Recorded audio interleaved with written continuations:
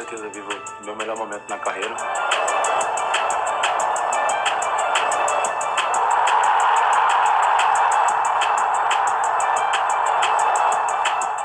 Aquela hora ali dos pênaltis é a hora que eu tento baixar minha, a frequência cardíaca, respirar, porque é a hora que a gente precisa decidir.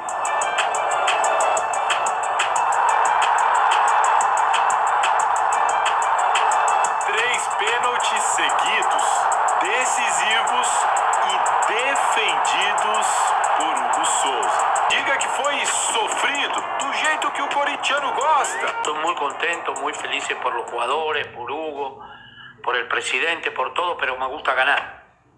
Porque trabajamos para ganar. Y teníamos una gran chance de, de- de haber terminado eh, de otra manera.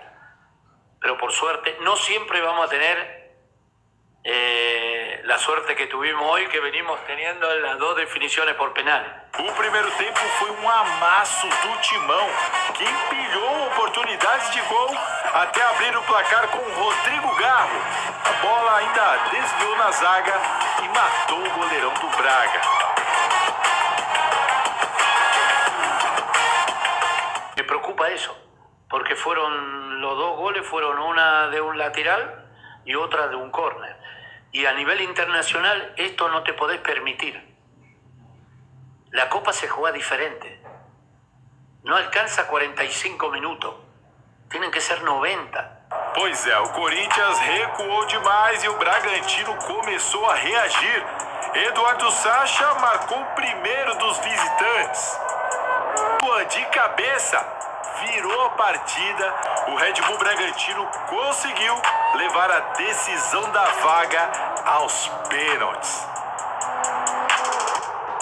A gente não pode acontecer, a gente fez um, um belíssimo primeiro tempo e quase deixamos a classificação escapar. Não precisava, né? Toda essa emoção. E bota emoção nisso. Nos pênaltis, todo mundo foi batendo e convertendo até chegar em André Ramal. A isolada do zagueirão colocou o Corinthians atrás. E tava difícil até pro Hugo acertar o canto. Eu sou muito fiel aqui, a gente estuda. Né? As decisões hoje da- dos lados que eu pulei foram estudados. Tudo isso decidido entre a gente. No quinto pênalti, aquele que podia dar a classificação ao Braga, Hugo pegou a batida de Gustavinho. Festa durou pouco tempo porque Rian também errou. De novo, Hugo sal... A vítima da vez foi Douglas Mendes.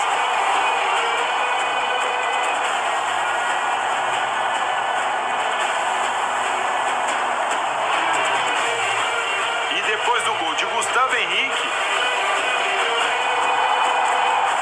toda a pressão foi para cima de Guilherme Lopes, o terceiro seguido que parou em Hugo Souza.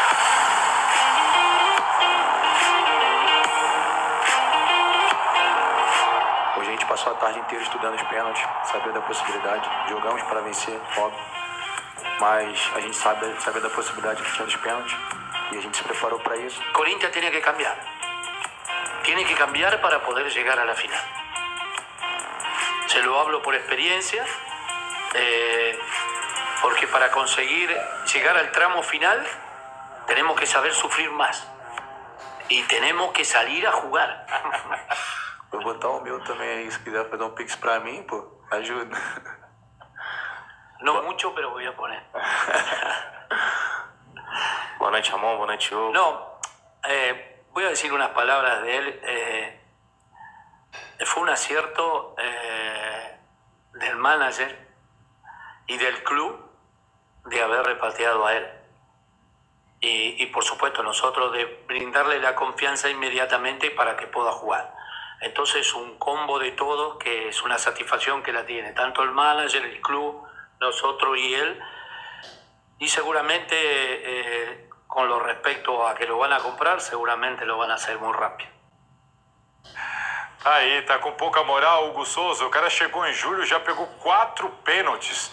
Com a camisa do Corinthians. Já até teve jogo que assumiu a faixa de capitão, realmente está assumindo todo esse protagonismo com a camisa do Corinthians. A situação é a seguinte: o Corinthians tem o Hugo por empréstimo por uma temporada, pagou 200 mil euros por esse empréstimo. Para ficar com o Hugo, o Corinthians precisa pagar 800 mil euros ao Flamengo e assim comprar 50% dos direitos econômicos do goleiro. O Corinthians só pode exercer essa compra a partir de 1 de outubro.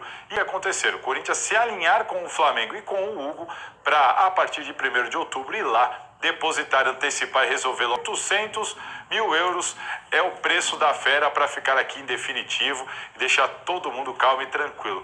Passando só alguns dados para vocês, o Hugo pegou três pênaltis na mesma partida ontem.